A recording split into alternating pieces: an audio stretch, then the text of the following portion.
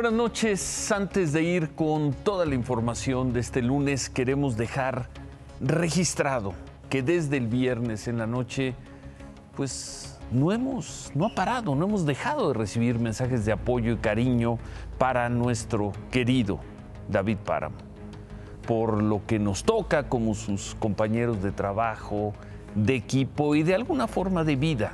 Agradecemos esas expresiones que pues que nos hacen tener confianza en que algo se sigue condensando bien, virtuosamente en el tejido social mexicano.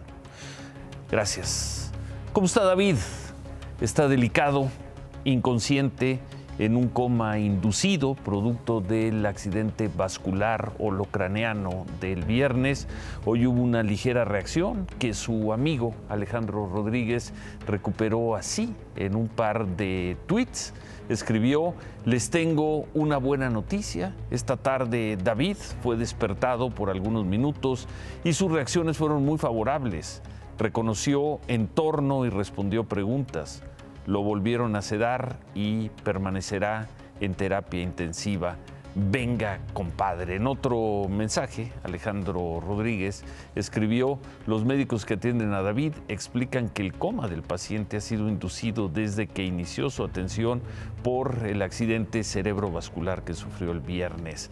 Precisamente todo esto es para desinflamar su cerebro.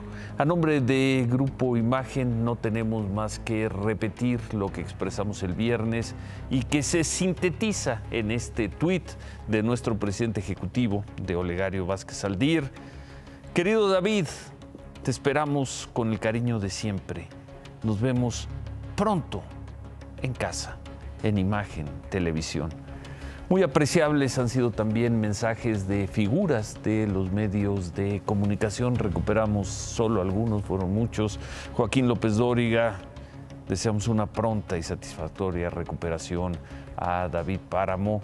Julio Hernández Astillero, que fue nuestro compañero aquí en los primeros años de este programa también periodista especializado, informan que David Páramo está hospitalizado, grave, lo lamento mucho y deseo que David salga adelante. Son momentos de solidaridad humana. Víctor Trujillo, Broso, los mejores deseos, las mejores vibras para que muy pronto estés recuperado y en tu amada trinchera. Dios contigo, querido David. Azucena Uresti de Milenio, me sumo a las oraciones, buenas vibras y deseos para que David Páramo supere este difícil momento y recupere pronto su salud, así sea. Javier, Javier Alatorre, Televisión Azteca. Javier, atento a la salud de David Páramo, espero tu muy pronta recuperación. Un abrazo fuerte y solidario.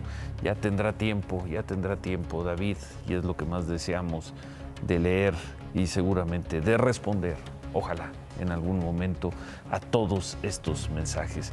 Muchas gracias, porque en verdad, desde que dimos la noticia aquí el viernes en la noche, no hemos parado de recibirlos.